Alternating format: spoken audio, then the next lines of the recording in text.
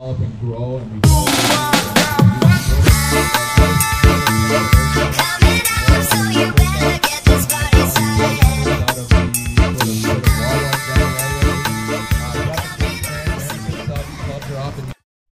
And here's the map that they gave us for the trail ride, and everything was pretty great, really nicely arrowed. Uh, the start of RJ's, I believe it went this way, and everything was going great until the lunch spot. And when we left the lunch spot, a side by side was blocking an arrow, and somehow we ended up turning right instead of left and following other arrows. And I believe we bypassed all the sweet single track and ended up, um, I think, into this one and then wherever the rest, and then back at RJ's. So I don't know how much this was, but I have a feeling this is what we missed because we got back and I thought to myself, I feel like we could have done more single track. And, uh, yeah, I'm really bummed. Stupid side by side.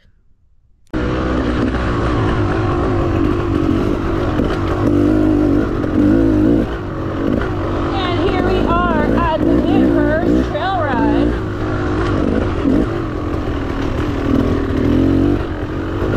I think it's about 150 kilometers of single track. Just taking it easy. It's the morning. Yeah, she's full of it, taking it easy. She's still trying to go fast. Hey everybody, Vanessa from the Full family. And episode three, we are at the Midhurst Trail Ride put on by SCORRA. This is my first time attending this event, and I'm following my friend Nate.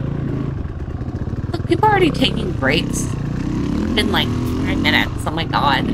Just kidding. Um, no, I'm not. Ooh, this is like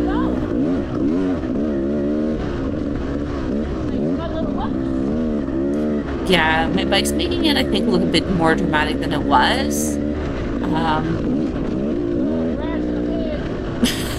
okay, but my suspension is actually uh, so much better than it was last year. I got it redone at, uh, yeah, at Legs Off Road, and it is like not soft like the regular cross trainer. Um, so what I was saying, talking. She talks so much, that girl, when she rides. Oh yeah, I'm basically saying that it's a trail ride. It's not a race, so you know I shouldn't go up to people and start revving them. Um, even though a lot of people were doing that.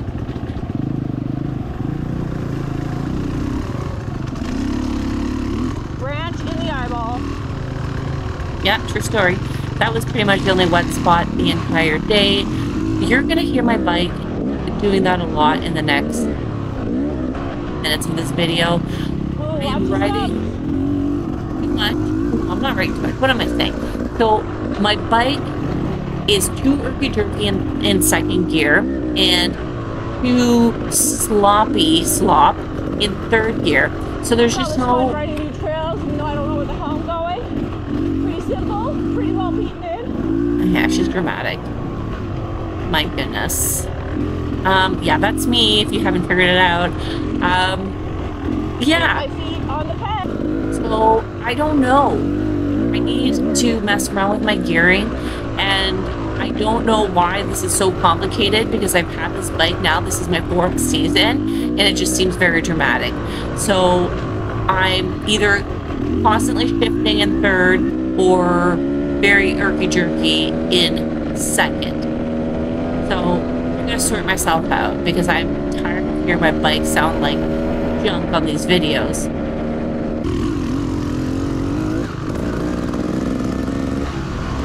So we're now Friday, May 31st. This ride was last Sunday, and I'm actually getting ready to go to RJ's this weekend, and I feel like.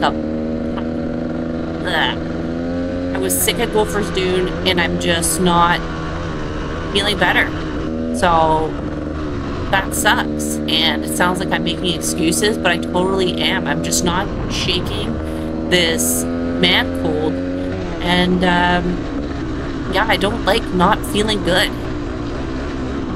So what was I saying? Oh yes, I am not following my husband, who actually was on the trail ride, and he claims that a few people went up to him and said, "Are you Van Kirk's husband?" And he's like, "Yeah." So he claims he answered that several times, and he should just get a T-shirt that says "I am Van Kirk's husband." So I thought that was kind of cute. Um, so yeah, I'm not riding with him because he did not want to ride with me. Uh, he chose to ride with our buddy Kevin uh, Perry. You might have seen him hanging around at Lanks. He works on my flight. Why it sounds so bad? Uh, no, just kidding. He's very great.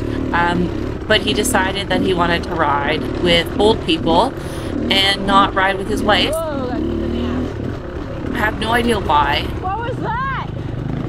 I'm a very supportive person when I ride. Um, to everyone around me. I don't make fun of them. I'm super patient. Okay, maybe not. Um, yeah, so I think he just wanted to enjoy himself. And uh, apparently that doesn't mean with me. So he had a great time. Uh, and I had a good day too. So I found that this trail ride was Here, are they? kind of boring. Ugh, don't get mad. Okay, so it was super well organized. It was my first time doing it. I just found it like uneventful. And I did cheat and skip single track by accident in my defense because I don't know what I missed. Maybe it was more challenging, but it's all the same. It's all kind of twisty and, you know, flat zero hill climbs. So, I mean, I guess I could have practiced doing log hops, like, because clearly Pathetic at it. That was pathetic. There you go. I knew I was gonna say it. Um, but uh, to add to my drama, I hurt my knee at Gophers, and I was trying to take it easy. I was trying to rest it. So I mean, I guess I could have practiced doing that because I I do think need I to got it. practice. I'm horrible going over big obstacles, especially under pressure. So that is this year's goal. And for you, going around. Um, but yeah, I don't know.